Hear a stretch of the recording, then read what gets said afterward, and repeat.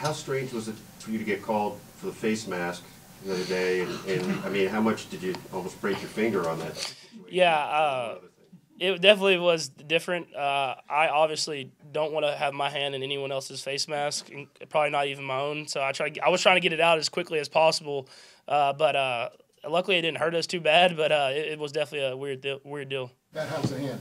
It's it's doing better. I mean, a lot of the swellings went out in these last two days, uh, and so I was able to throw the football around today, and I'm excited to go out and practice and be able to spin it around there. But uh, definitely was a little little scary after the game when it when it was when it was a little bit uh, the bruised and the swelling and stuff like that. But as uh, we've kind of done more and more treatment, uh, the swellings went away, so I was able to throw the football and everything. You'll, you'll do your normal load in practice today. Yeah, that's that's what we're going to try to do. I mean, that that's that's the plan. Uh, we're going to go out there and just test it out and see where I'm at. But uh, uh, as far as throwing, I, I, was able to throw it and do everything like that and take snaps from under center. So I'm excited to be able to get out there and practice. What is the treatment for a hand, Patrick? I mean, icing, encasing it in ice, or what, what, do you, what do you do? Yeah, it's a, it's a lot of different hand exercises and icing and, and everything. I mean, just like anything else, any other uh, bone or muscle, you get to kind of just get that swelling out uh, and, and do that first. And then once that's out, you can kind of do more and more to build the strength back up. Does it hurt enough that it makes you forget about the knee and ankle?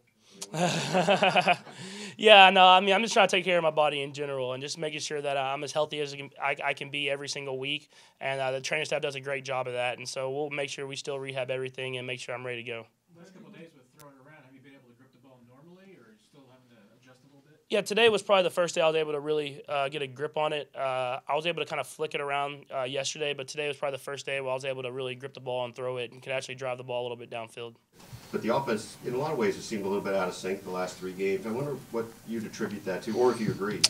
Yeah, I think it's it's just not execution at high enough level, uh, and it starts with me. I feel like there was times in the game where I could have maybe stepped up and bought another extra time at, or stay in the pocket. And I think there's just times, if you look back at last year, where I drift back and don't do the same things that I do at the beginning of the year. And so I'm really focusing in this week on the fundamentals, like I've kind of been saying these last few weeks, but just trying to find a way to where I can I can help out the offensive line because they're doing their job of kind of walling those guys around, and I can step up in the pocket and hit these guys and give them time to run routes. Why does that happen late in the year? Do you think are you just kind of tired, or did something reflexively kicks in? Yeah, it's just that's how I've always been uh, since I was in high school. I kind of sometimes rely on my arm and rely on these back foot throws and I mean those are all cool and everything like that. But you want to make sure that you still doing the fundamentals because whenever you get to the end of the season, you're gonna have to step up and make these big time throws, and I want to make sure that my fundamentals are the are in the right way.